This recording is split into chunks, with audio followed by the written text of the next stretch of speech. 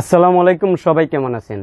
আপনার ইমোতে যদি টু স্টেপ ভেরিফিকেশন চালু থাকে এবং আপনি যদি নতুন কোনো ফোনে আপনার ইমোটা লগ করতে চান, আর তখন যদি আপনাকে সিকিউরিটি ভেরিফিকেশন প্রশ্ন করে কোশ্চেন করে, তাহলে আপনি এই কোশ্চেনের আনসার কীভাবে দিবেন অথবা আপনি কীভাবে ইমো অ্যাকাউন্টটি আনসার ছাড়াও আপনি লগ করতে পারেন, আজ এই ভিডিওতে আমি দেখাবো।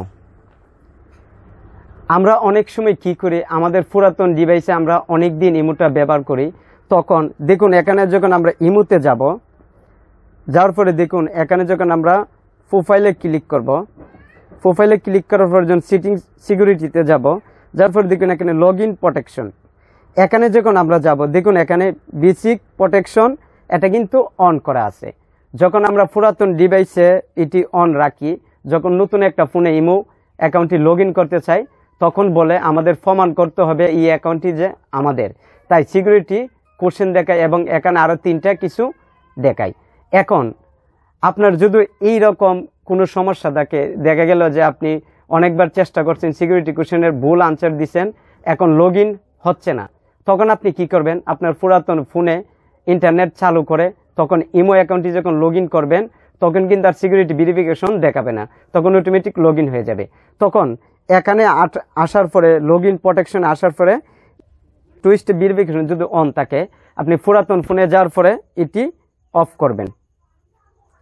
করার পরে কি করবেন আপনি? নতুন ফোনে আবার, নতুন ফোনে আবার চলে যাবেন।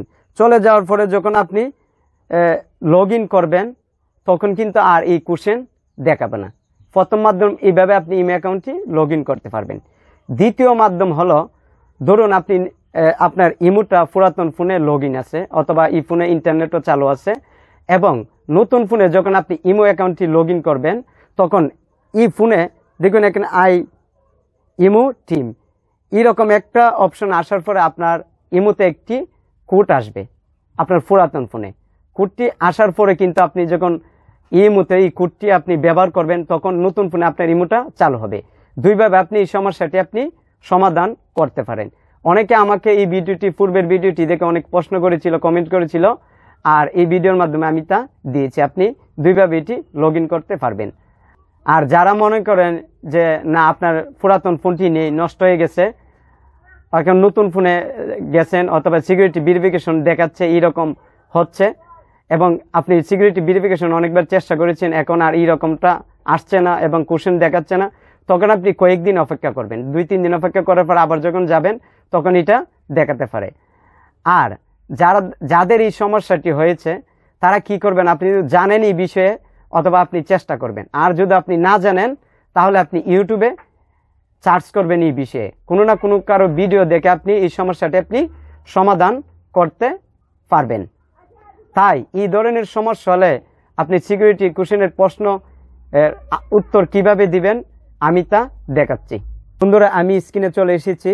আমাদের ইমুতে যখন টু স্টেপ ভেরিফিকেশন থাকবে, নতুন ফোনে চালু করার পর এরকম একটা স্ক্রিন আপনার সামনে শো হবে।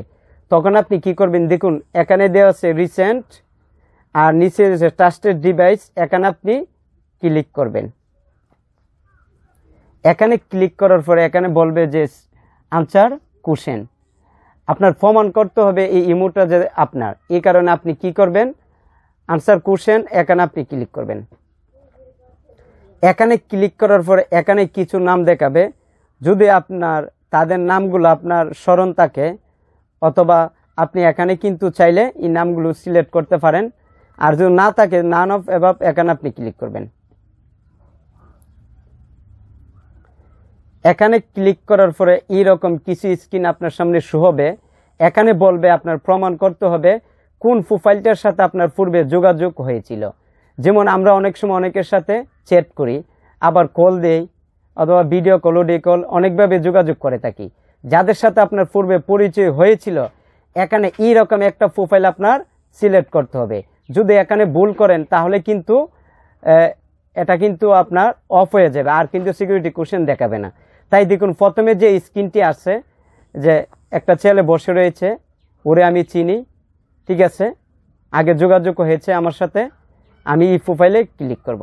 প্রোফাইলে ক্লিক করার পর দেখুন এখানে রাইট দেওয়া আছে। এখানে আপনি ক্লিক করবেন। করার পরেই আপনার ইমো অ্যাকাউন্টে কিন্তু লগ হয়ে যাবে। দেখুন লগ হয়ে গেছে।